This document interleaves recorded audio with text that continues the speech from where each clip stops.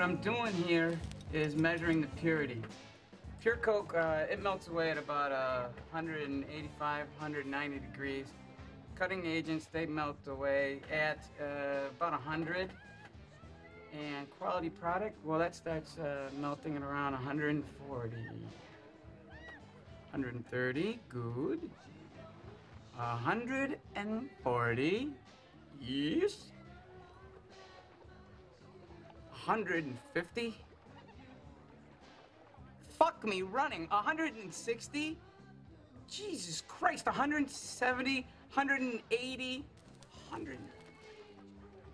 187. Where did you get this stuff? Colombia. Oh, uh. Well, do you mind if I do a line? Yeah, go ahead. Fuck it, let's all do one.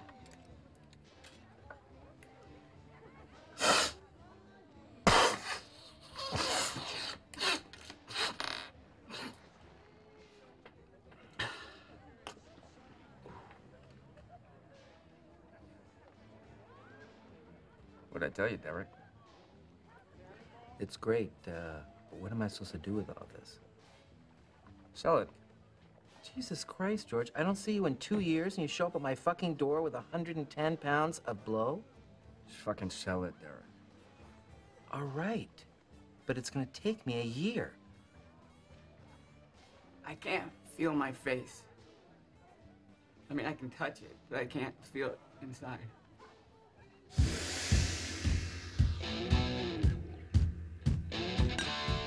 Thirty-six hours.